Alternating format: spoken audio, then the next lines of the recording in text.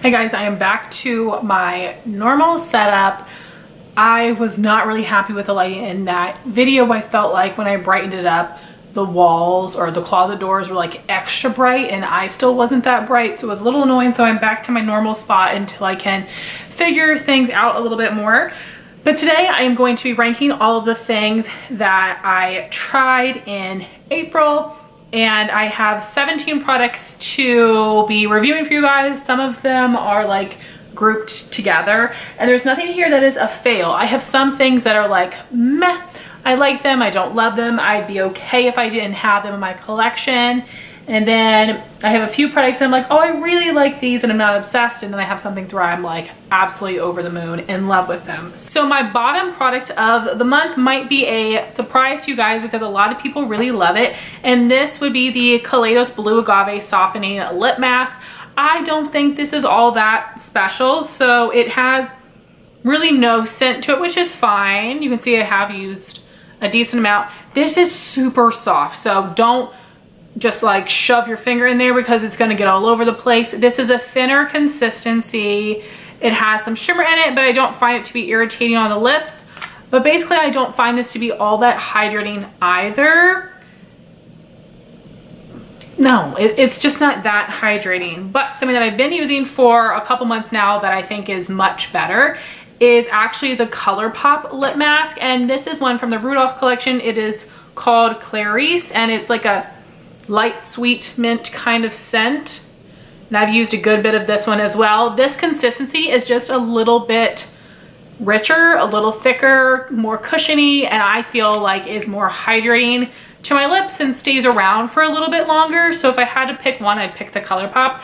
Kaleidos comes with 7.5 grams and ColourPop comes with 12 grams, which this is like a lot. This is actually more than I would want. I know it's better value or whatever, but that's a lot of lip mask to get through. And then I do love my Laneige Lip Sleeping Mask better than this one as well too. So I'm glad I got this as a freebie with my order. I will use it, but not all that special. And then at number 16, I have another Kaleidos product. That would be their highlighters. And these are all really pretty duochrome highlights. They do have some others that I am interested in, but Makeup with Mariella sent these to me, which was amazing. I was so excited to try them. And we've got Skywalker here, which is a blue duochrome. Solar Sailor is yellow. Mars Melter is pink. And then Star Surfer is like a lighter shade with a pink reflect where this one is just like a pink duochrome. They're a little bit different. So we have Star Surfer, Mars, Melter, Solar Sailor, and Skywalker. Star Surfer, Mars Melter, Solar Sailor, Skywalker. So the two pinky shades, I hope you can tell that Star Surfer is a little lighter, has a little bit more shimmer in it. That one's a little bit more white based, where Mars Melter is really just like a light pink color. You can see how yellow Solar Sailor is, and then Skywalker is very blue. And Skywalker is the one that I like the least and I find this one on the cheeks to actually look a little bit glittery, which I don't love. And I think I layered this on top of something else. So maybe if I didn't, the base would have stuck down a little bit better, but it just did not look smooth on the skin. And I would say to get Ofra Space Baby over this one, if you're wanting a blue duochrome, because that one is a lot softer, on the cheeks. This one, just like you can see the glitter particles, it's not as smooth, it doesn't sit as pretty. I do like Solar Sailor, but it is like very yellow, almost yellow green. So I just have to be careful with it. And then these two are definitely my favorite, the easiest for me to wear. I think I like Star Surfer a little bit more, but very pretty. And I know that they've repackaged these and changed some of the colors like Mars Melter might be a different shade. So I don't know if the formula has changed along the way as well or just the packaging in some of the shades. So let me know if you guys know, but it was really fun to try these out. And if you guys saw my monthly declutter, you'll know that I am getting rid of Skywalker. I'm keeping the other ones for now, but I was hoping to like them a little bit more than I do. I just think Ofra Cloud9 Space Baby are really nice duochrome shades that have a really great smooth finish. Next at number 15 is something I really do need to try more and these are also from Kaleidos, the Cloud Lab Lip Clay. I have the shade Bare, which let me just go ahead and swatch these. Very pretty. And I love the applicator, it's that little triangle shape. And it has that little well in the center to pick up extra product. And then the other color I have is Pink Moon. And all of the other shades in the range are just too dark for me or too cool tone. So I would have liked some other options because even the nude color looks a little bit more terracotta on me. But I actually am wearing Pink Moon over top of another lipstick today, another liquid lipstick. And it works really well on top of other formulas. I do think that this is a very comfortable liquid lipstick because it's super moussey and creamy. It's different than I expected, but it's very comfortable. I just am not in love with the shades that I chose and their shade selection as a whole, but this is a really interesting formula and I would love to pick some up again in the future if they come up with some lighter shades. And then at number 14, unfortunately, is another Kaleidos product. This is their Lo-Fi Duo Blusher in Lo-Fi Peach. I wanted this so bad. So many people had showed this on Instagram and these have been discontinued for a little while now. Makeup with Mariella did declutter this to me, which was so exciting. Thank you so much, Mariella. So I use this as a blush and this as like a blush topper slash highlighter. It's a pretty color. And this one is like very peachy pink. And then the blush is a matte blush. Very pretty. I do like them. So there's what they look like. But basically nothing super special. I have other blushes similar shade to that one. So I know I will reach for this and I do like it. And I do still want the rose shade from these duos but I'm not gonna like pay an arm and a leg to get it essentially, but it is very pretty and I do like the formula.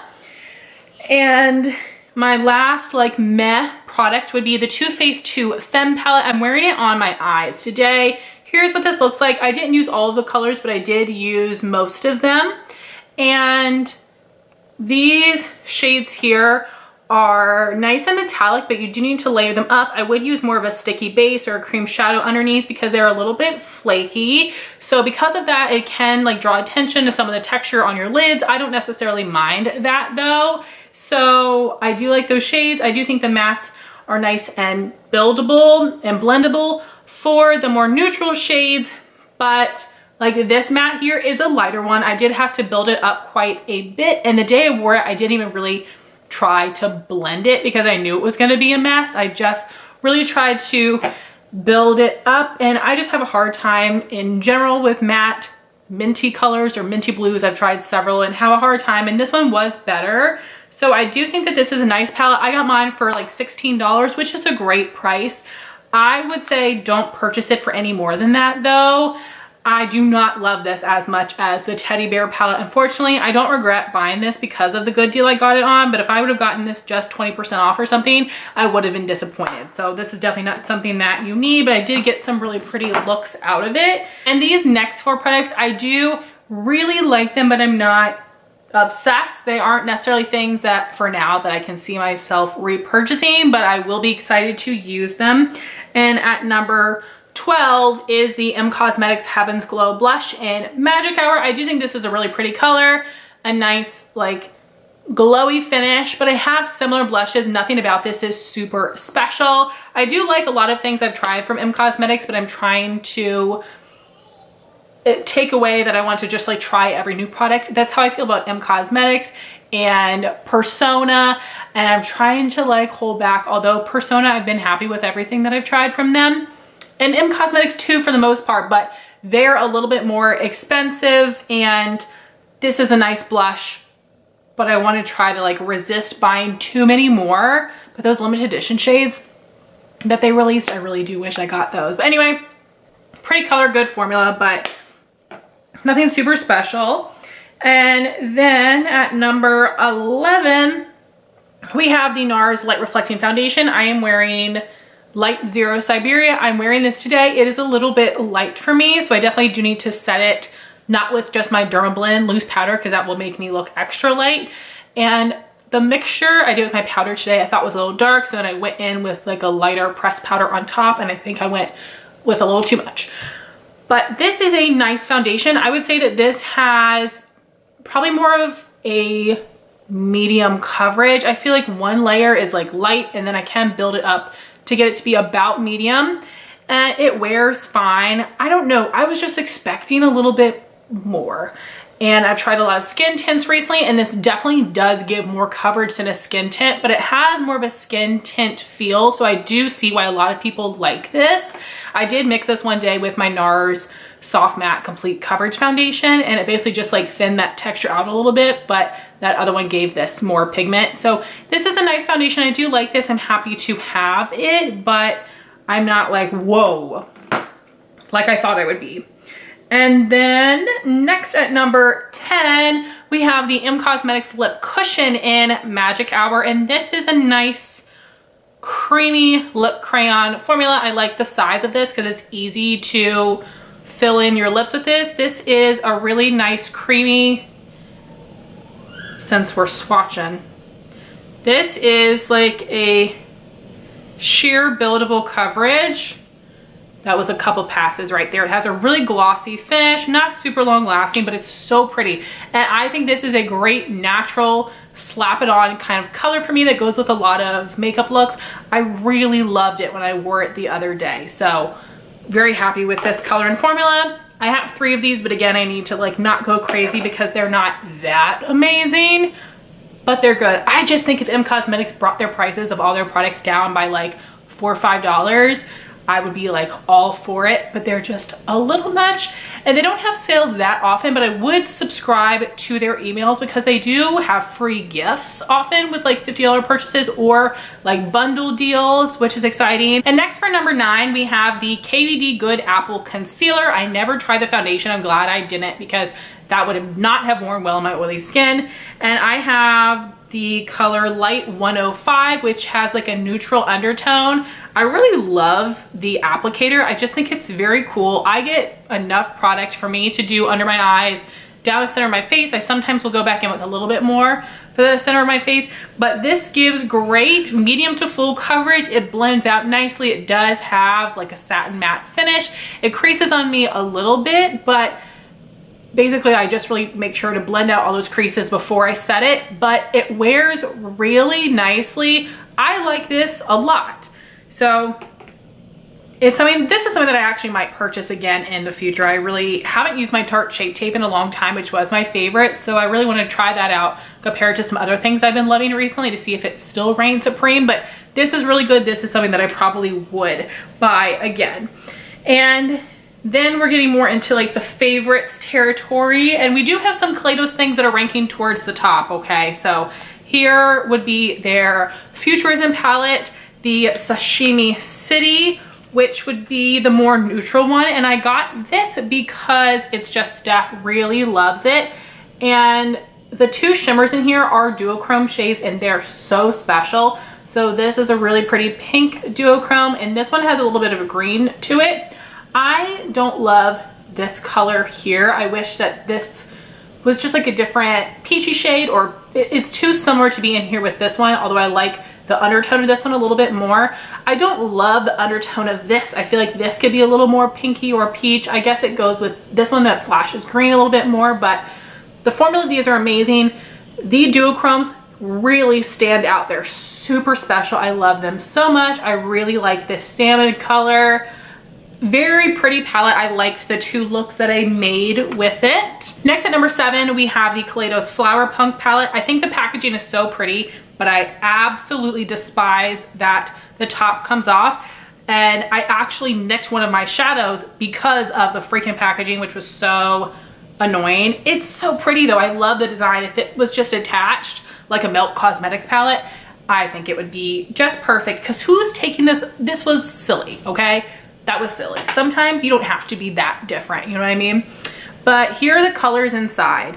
and to a baby shower like a crazy person. I'll have to put my makeup of the day down below. I wore these four shades here.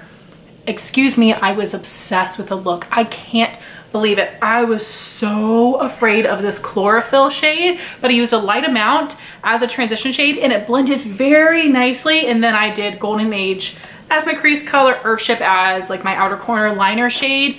And this Sun Gazer, oof, their shimmers are so good.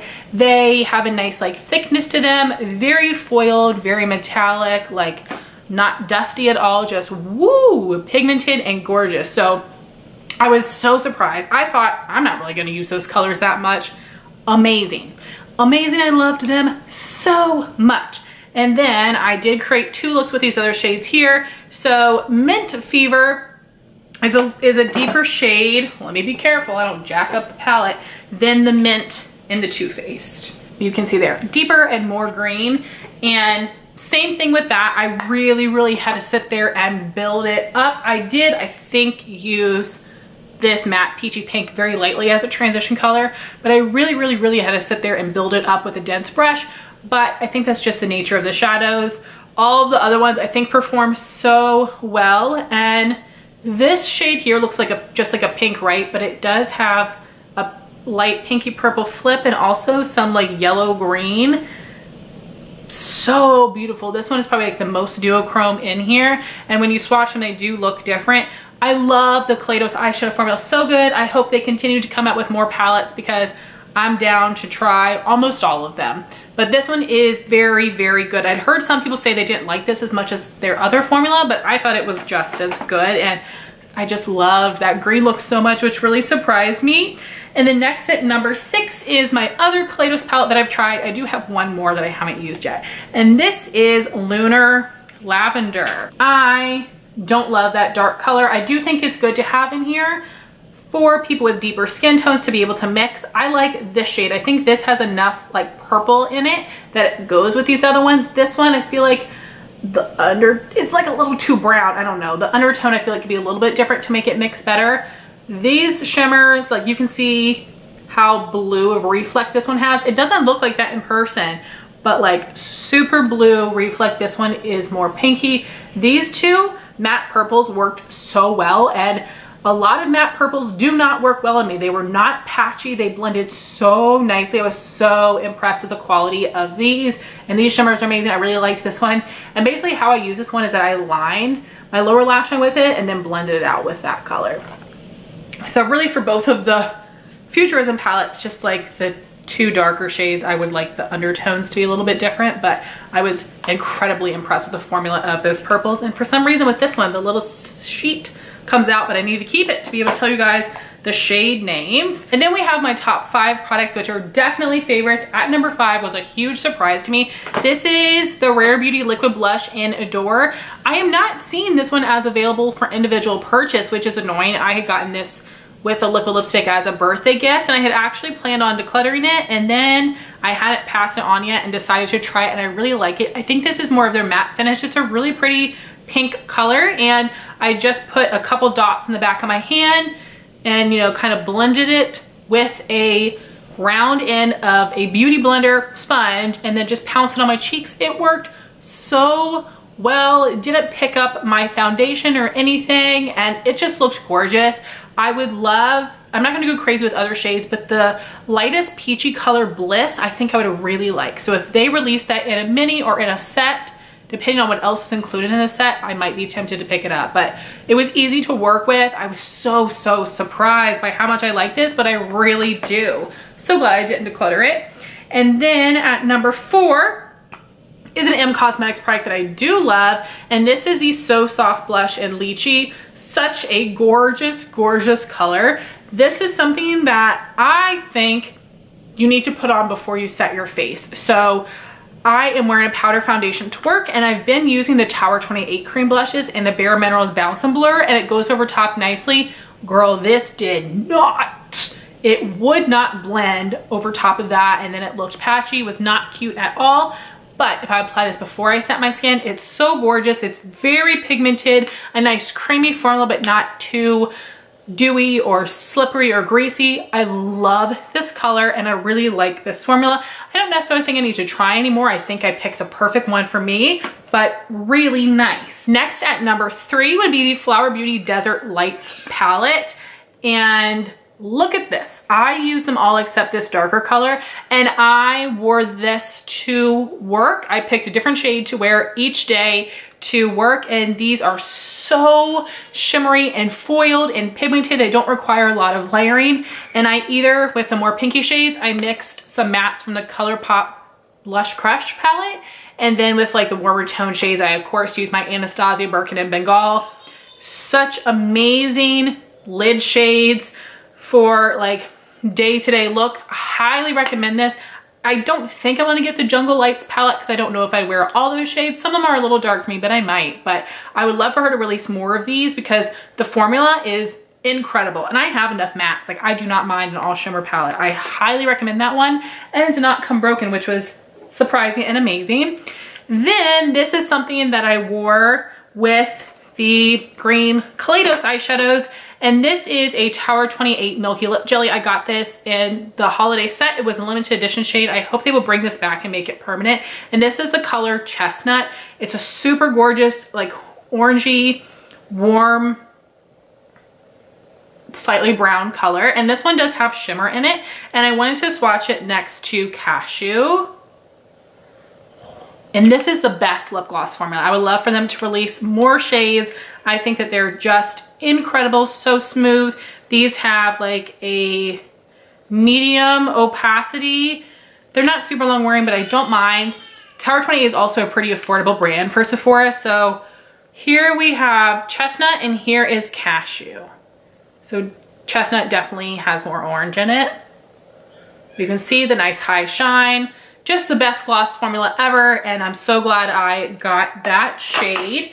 And then at number one would be the best cream bronzer I've ever used, formula and color wise, and that would be the Em Cosmetics So Soft Bronzer in Summer.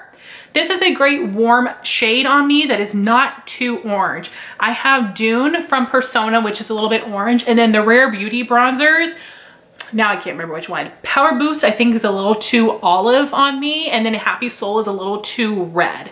But this is just the perfect depth, the perfect undertone. I also think this would look great on people that have a deeper complexion than me, but I apply a little bit under foundation, then I'll put foundation on, then take a brush and just apply a little bit more.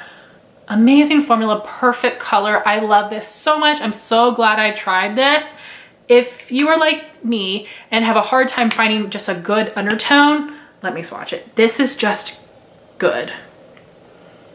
It's warm without being orange, not red, not olive. It's just perfect for a bronzer color. And then they have Terra, which is more cool tone for contouring, which I do think would be great for people.